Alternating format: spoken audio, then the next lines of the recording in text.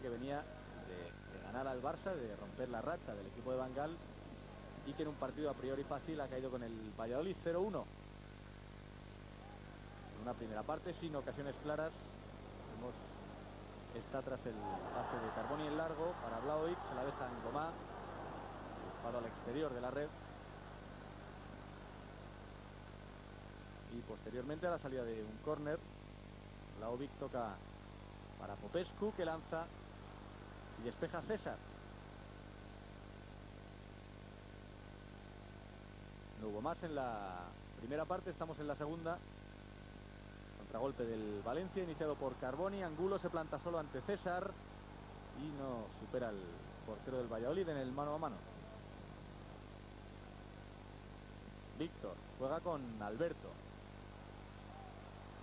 Alberto y con el pie derecho saca la pelota Cañizares.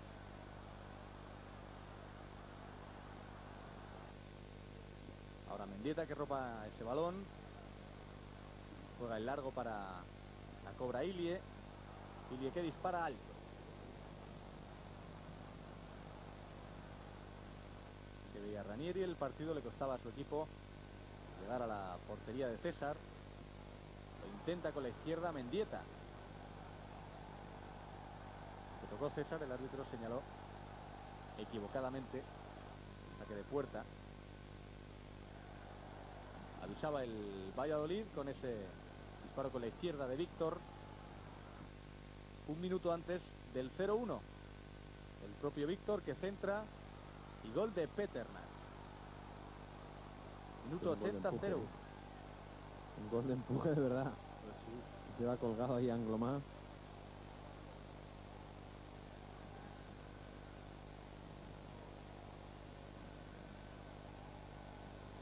Segunda victoria consecutiva del, del Valladolid, gracias a este gol.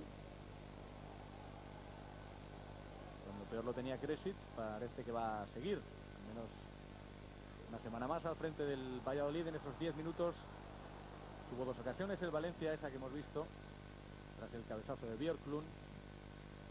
Y esta última, en el disparo de Servan a la izquierda de la portería del Valladolid, que venció en Mestalla 0-1.